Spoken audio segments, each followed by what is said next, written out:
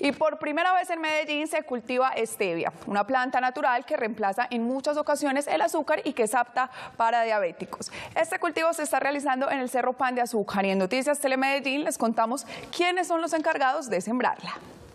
La stevia es un edulcorante alternativo al azúcar sin calorías y apto para diabéticos. En el mundo los principales productores son China, Malasia y Ecuador. Sin embargo, países como Colombia se comienzan a abrir camino. En Medellín, por ejemplo, por primera vez en la historia, esta planta es cultivada en la ciudad en el Cerro Pan de Azúcar y los encargados de hacerlo son reinsertados.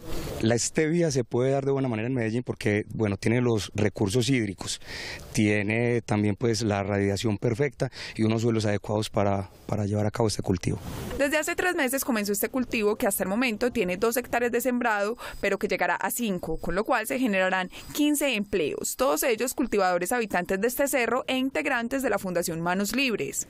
Nosotros no teníamos muchas expectativas de empleo y esto ha venido a ser como pues algo importante económicamente porque está derivando el sustento no solamente el mío, sino de otras personas. Y es que este cultivo permite que esa planta, una vez procesada, pueda ser exportada a países de Europa y Norteamérica, lo cual generará un impacto positivo para la economía de la ciudad.